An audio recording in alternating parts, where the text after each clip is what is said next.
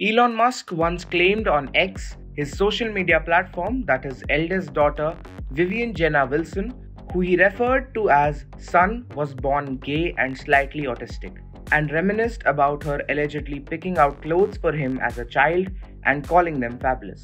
And now he said he was tricked into consenting to her transition in a recent interview.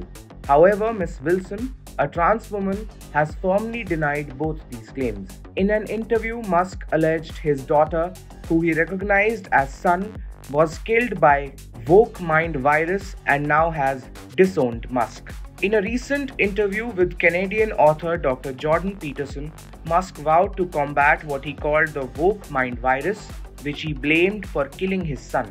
By son, he means his eldest daughter Vivian, who transitioned in her teens. He also shared some anecdotes about his allegedly autistic child.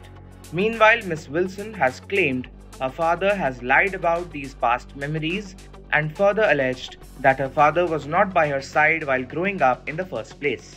This entire thing is completely made up, and there's a reason for this. He doesn't know what I was like as a child because he quite simply wasn't there. And in the little time that he was, I was relentlessly harassed for my femininity and queerness.